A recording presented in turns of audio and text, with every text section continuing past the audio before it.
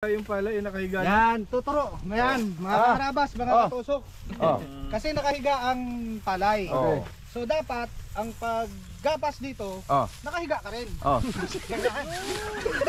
Yan. Para, Oh. Oh. para kuha mo talaga siya. Oh. Kasi pag hindi mo siya makukuha Sample. pag nakatayo ka. Oh, gapas. Okay, sample, sample. Oh. Oh. Oh. Oh. Oh. Gamay, gamay, gamay. Kabila mo kaya eh. Baliktad, baliktad, baliktad, baliktad. Yan, yan, yan, yan. Hindi, gusto ko ngayon medyo may dugo. Ah, okay, okay, okay. Yan. Oh, kita mo? Tapos saan nilagay? Wa- 180 nakaban ka agad to. Teka, teka, baka mawala yan. Yung, yung palay na yan. Saan mo ilalagay dapat yan? Dapat dito yan. Oh. Oh, tapos doon tayo sa kabila.